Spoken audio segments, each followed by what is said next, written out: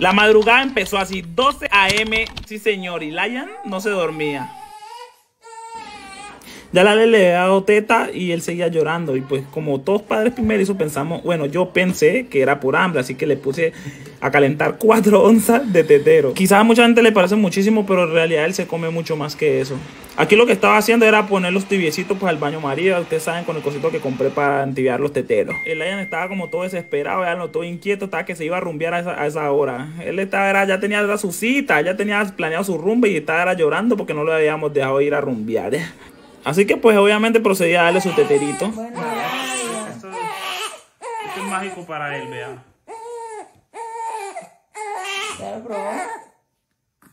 Y solo por este motivo yo pienso que sí es hambre, aunque él le dice que no. Y mucha gente dice que los bebés no lloran solo por hambre, pero yo digo que esta vez sí está llorando por hambre. no. ¿Cuál hambre, amor? No es hambre, no es que se la pasó comiendo hasta ahorita. No sé por qué es que llora ese bebé. ¿Cuántas onzas hay ahí? Diez. ¿Cuántas onzas le, le está dando? ¿Cuatro? No le darías cuatro. Y no, no las di. 3.56 de la mañana, Dios. Mi Lion ahí se había despertado y cuando él se despierta y empieza a llorar, no le gusta estar acostado. No le gusta que lo carguen así, de esa manera. Tiene una fuerzota y a mí es que me la monta.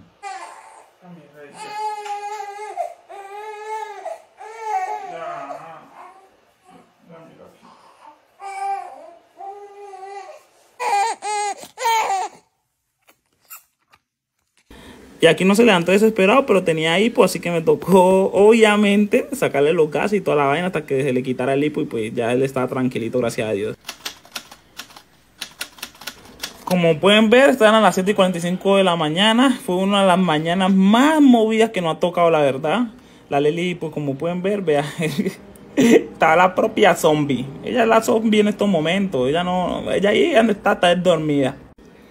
Yo llegué y me acosté un ratico ahí con el Lion, con la Leli, hablando ahí con la Leli, ustedes saben, mimando al bebecito, que hay que pasar el tiempo para que ellos reconozcan la voz de uno, porque en estos momentos ellos pues no identifican mucho quién es el papá, quién es la mamá, sí, pero que en el papá no. Luego bañamos a Lion, la Lely lo bañó, a mí me tocó vestirlo. Esta toma que ustedes están viendo en estos momentos no es de este día, pero pues como no se me olvidó grabar, entonces le estoy poniendo esta toma porque se lo imaginen. Mejor dicho, para que no lo imaginen ni que para que lo vean más o menos.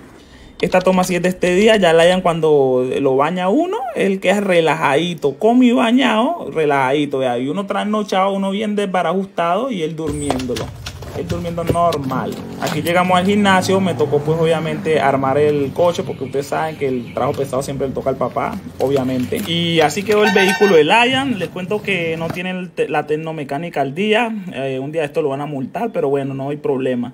Aquí estamos entrando al bus a entrenar toda la vuelta, ustedes saben. Mientras la abuela lo cuida, la mamá hace 3000 repeticiones de lengua y pues el papá ya está calentando, hablando con sus amigos. Ustedes saben qué vamos a hacer hoy. Trata de conquistar el mundo.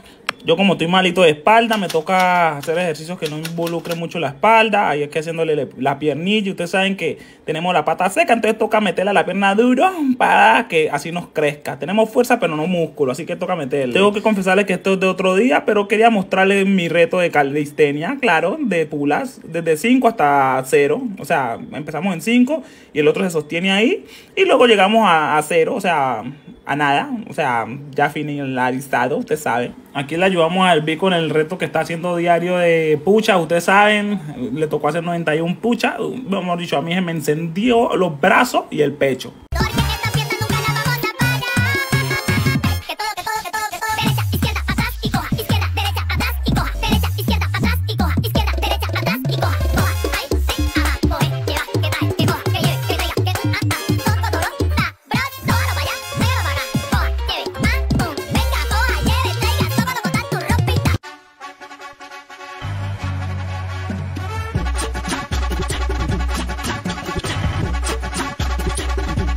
Y después de hacer más TikTok, entrenar en el gimnasio, nos fuimos a almorzar sabroso. Le toca a una mamá comer.